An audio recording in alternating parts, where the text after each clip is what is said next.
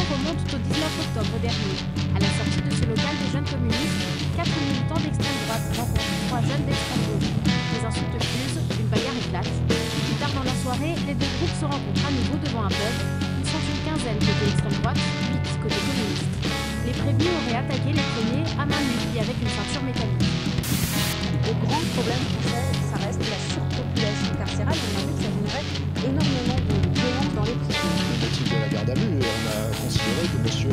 Caner était en train de préparer un attentat d'envergure. C'est comme ça que ça a été présenté. Euh, il est évident, et c'est avéré très rapidement au cours des premières heures de garde à vue, que le dossier ne contenait pas euh, les charges correspondantes et les éléments surtout de, de